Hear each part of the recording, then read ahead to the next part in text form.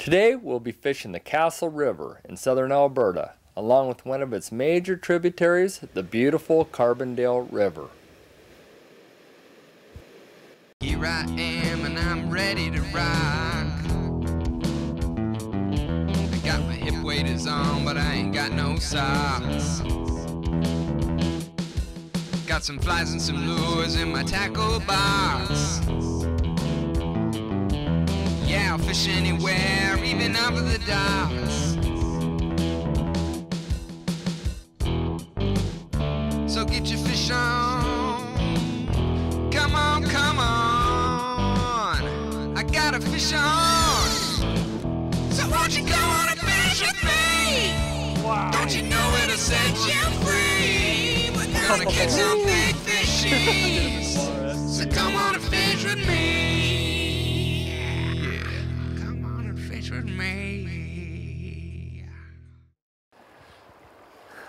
Just a few seconds ago, we saw a trout rise right out here just off this log, so we're gonna see if we can get him to come up to our fly.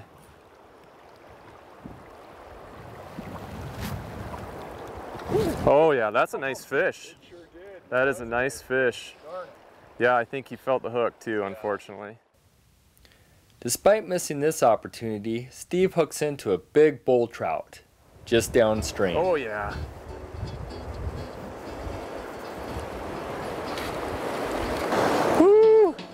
Tell you, this is a big bull trout.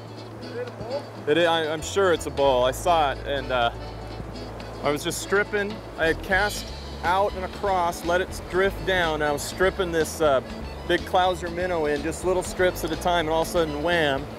And uh, and I saw him, and it's, it's a good-sized bull trout. Looks big. Yeah, it is. I saw it flash behind there. Oh yeah, that's a nice trout. Oh yeah.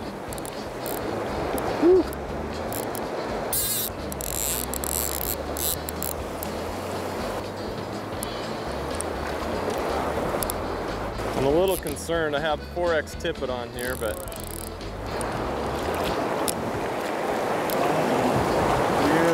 Steve draws the bull trout closer to the net.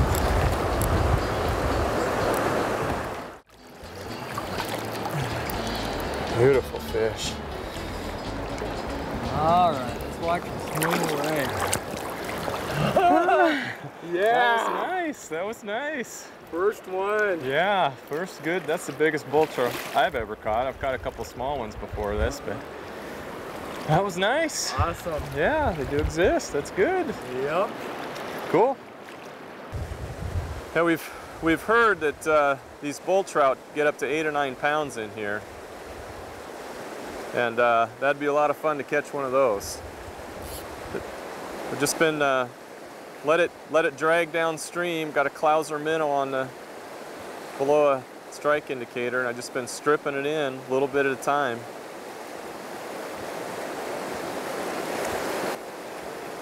Now that I've caught one fish, see, I'm a bull trout expert. Sounds good to me. yep. More than I have. Yep.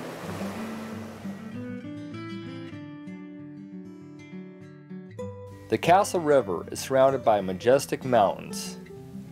The river gets its name from Castle Mountain, the one on the left. This mountain looks like a castle fortress. Just, just fell off. Steve's net fell off and was caught by the river's current and slowly drifted away. Steve tried one last desperate attempt to catch the net. It's going the wrong way.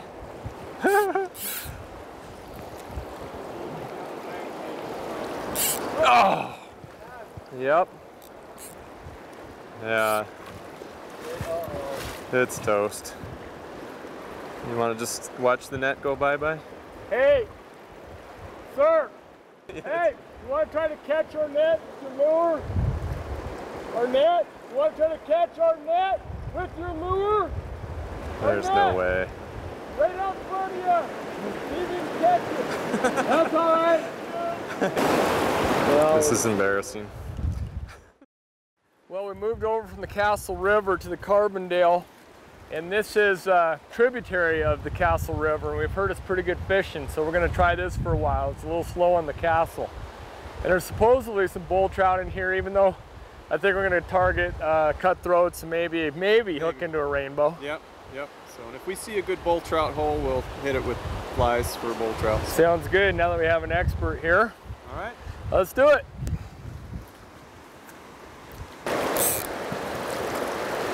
Oh, darn it! After missing the first strike, I was ready on the second. Oh yeah. Oh, it's a good fish. It's pretty good, pretty good cut, fairly strong. What'd you get him on? Uh, it's a prince, prince nymph. Well, I tell you, that prince is some kind of fly. Yeah. Everywhere we've been.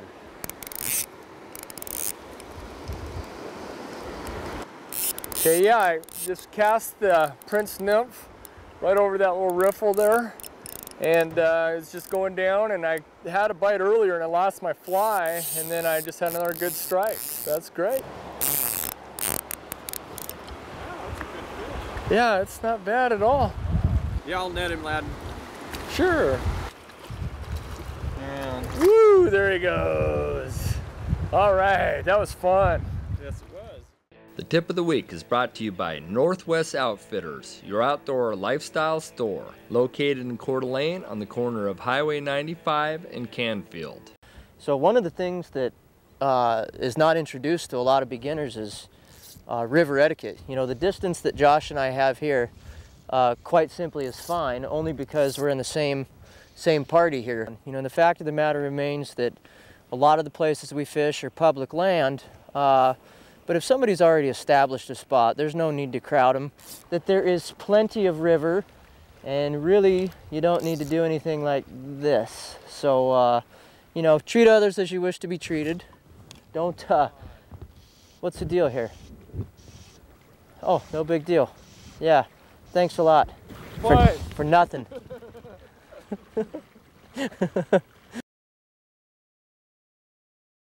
Hey, lad, can I borrow some of that soft lead? Sure. Here's a tip for you folks on uh, saving a little time when you're fishing, and that is organize your fly vests. You know, you put similar th- things in the same pocket every time, flies in one area, leaders in another area, so you always know where to get stuff when you're in a hurry and there's a hatch on and you want to get a catch a fish. Steve. Steve, What? I can't find it. Sorry. Hey, you need to organize your vest. Steve! It's a good one.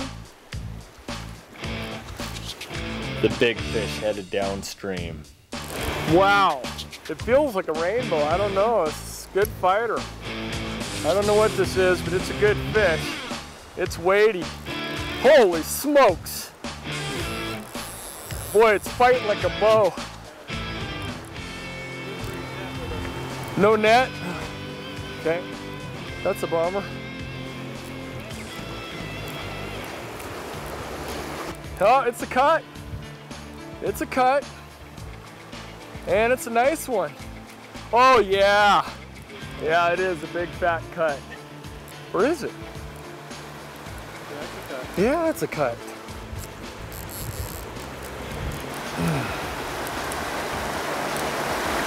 Oh, gorgeous. Oh.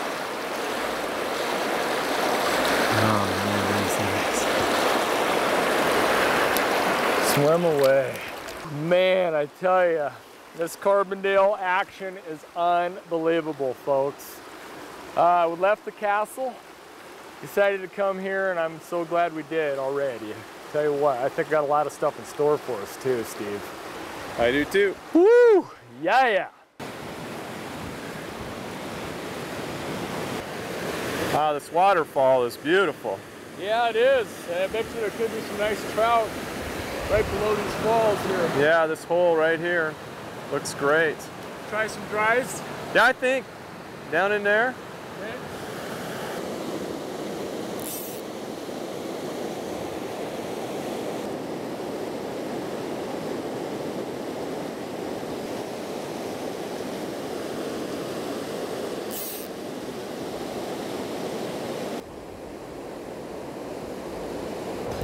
Oh yeah.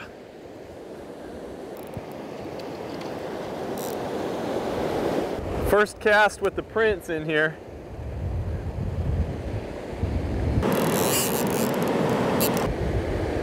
It's cutthroat. Think? Oh yeah, that's a good fish.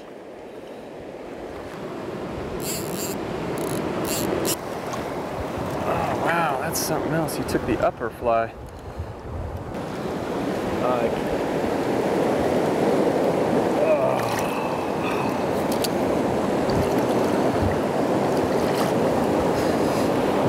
fish. Ah. There he goes. Right. It's a good cut. Yeah, it was. It's pretty deep water. So I've got a, I don't know if you can see that or not, but I've got a prince about three feet below this prince, and then about two feet below a, a dropper, and the top one's the one that he took. Interesting. Yeah, surprised me.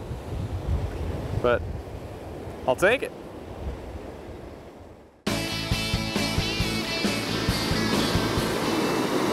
Hmm.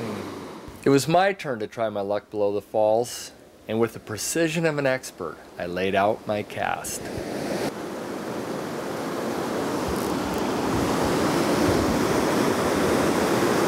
Okay, I'm casting my dry fly out and just letting it swirl around in these foam lines.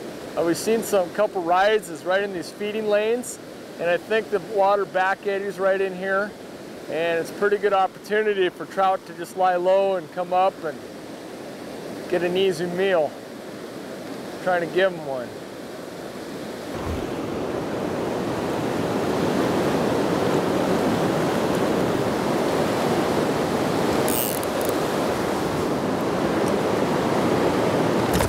Oh yeah!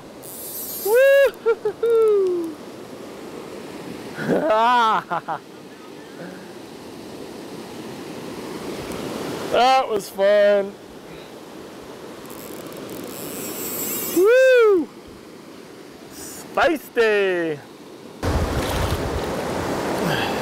And let's give him some oxygen upstream. Swam away. All right. That was a lot of fun. I love dry fly fishing, as folks probably tell. Good job. it's cool to watch. Thank you. It's fun to do. Good. Yep.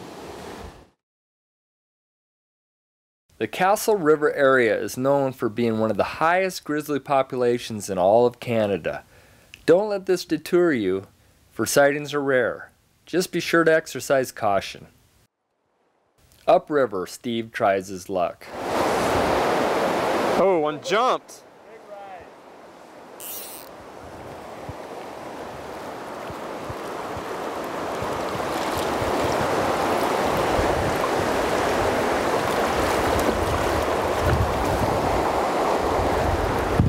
Got him. Oh yeah! That's a nice one. Yeah. Yeah, we probably don't have a net again. do Yeah, it's behind us. Oh, I lost we? No! Darn it. Darn it! Shoot. Oh, Dave. Darn it, that was a good fish. Shoot. That was. Good fish. Shoot. Darn it.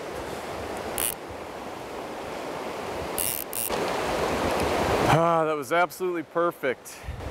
Except for losing him, I guess, but it's cool. Saw him rise, cast right to him, hit it again, and it was a nice fish. Oh well. On Fishing with Ladin, we would like you to send us some of your home videos of the fish you've caught. However, send us a copy because we won't be able to send them back. Some home videos will be selected to air on our show. This home video is sent in by Ed Foster, who grapples with the Columbia River salmon with a little help from his dad. We do appreciate it. Thank you for your support. Keep it pumping. That's it. You're looking at it. This is the pump. And he gives a left and I give a right. If that's a steelhead, it's a above. Stay down. oh, he's got to go. Of course he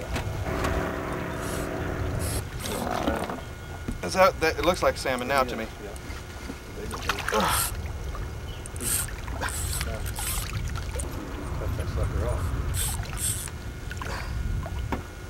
Well, this is not steelhead, Jude. This is salmon. Oh. What a Beautiful. Yeah, that'll weigh It's uh, 16 and a half. You ready? Yeah, yeah. Bye bye. Oh. Fisherman de jour, deluxe. And going that's what it's too. all about. Yeah. Ridiculous.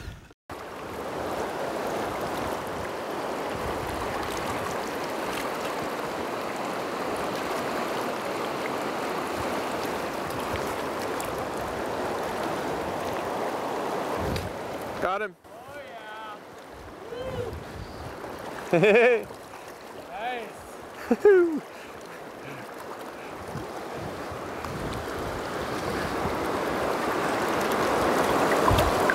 Gosh, he keeps he's coming right at me. Little bugger. it's attacking. It's a decent fish, too. It's a good fighter. Oh, gorgeous. Yeah, it's a nice I one. mean, oh, beautiful. Wow. Yeah. Just amazing. Came out of that little chunk of water there. Man, it's a fat fish Oh. again. Carbondale River. nice. It's just totally bigger than I expected out of it. Yeah. I mean, this is not a big river, folks. No, it's Very nice. Yeah. Gosh, it's got to be 14, 15 inches. Sweet. Wait. Just before dark here. Yes. One more. It's time for one more. Yeah, let's do it. Okay. It's your turn. All right.